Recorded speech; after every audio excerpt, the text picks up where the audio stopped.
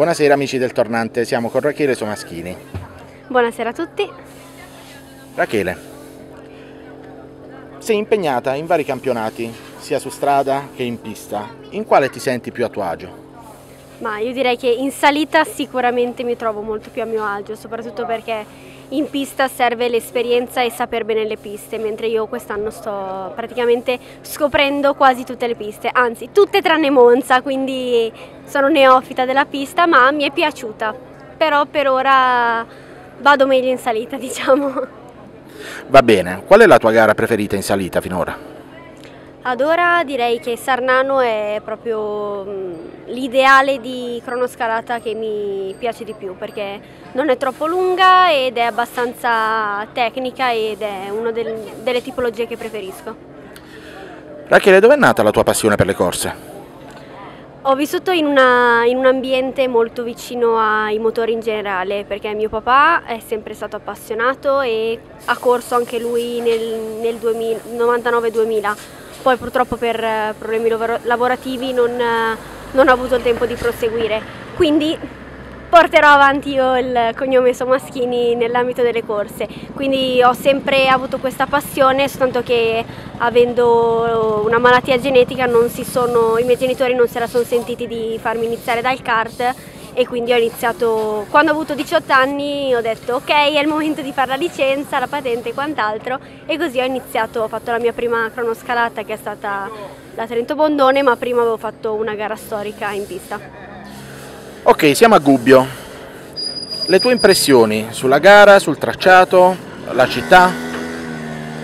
Allora, l'ambiente, partiamo dall'ambiente che praticamente mi ha accolto come una famiglia, sono tutti veramente disponibilissimi e mi, hanno, mi, danno tutto ciò di cui ho bisogno, quindi qualunque cosa io chieda eh, sono pronti a, a, darmelo, infatti mi sono posizionata alle verifiche con eh, gli adesivi della fondazione, sono comunque come vedete in un posto abbastanza visibile proprio per facilitare il lavoro dei volontari, il tracciato mi piace nonostante sia un po' corto, ora che mi concentro è praticamente finita la gara, però adesso sono riuscita ad entrare nella gara un pochino, un pochino prima. Il problema è il caldo purtroppo che soffro tanto questo aspetto. Parlaci della campagna Correre per un respiro e del tuo impegno sulla malattia della fibrosi cistica.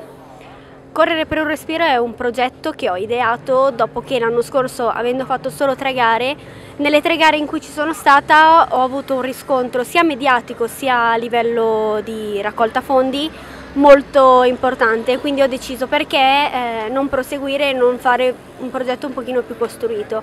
Così con eh, l'appoggio totale della Fondazione Ricerca Fibrosi Cistica sono riuscita a mettere insieme un po' tutto quello che è necessario che serve per fare raccolta fondi, quindi ho un camion che contiene gazebi, magliette, gadget tutto quello che c'è da, da portarsi ad ogni gara, eh, poi contatto tutti i volontari perché la fondazione è fatta di volontari e quindi sono 150 delegazioni in tutta Italia e queste 150 delegazioni quando le contatto sono sempre prontissime a darmi una mano, infatti si danno addirittura i turni qua a Gubbio, talmente sono affezionati e mi danno una mano perché io ovviamente corro e mia mamma da sola non, non riuscirebbe a far tutto, vengono e mi danno una mano a cercare di sensibilizzare e di raccogliere fondi e quindi questo progetto è legato a è proprio una campagna di sensibilizzazione che trovate anche sul sito che è fibrocicisticaricerca.it e proseguirà per il CVM, in pista ci proviamo ma non c'è tutta la gente che,